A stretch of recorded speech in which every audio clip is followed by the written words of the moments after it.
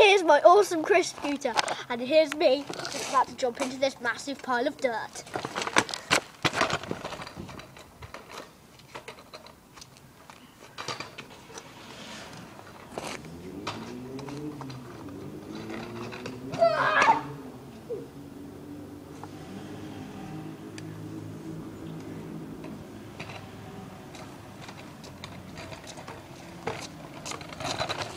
And here's my awesome crisp scooter with mud all over it. Cheers for watching.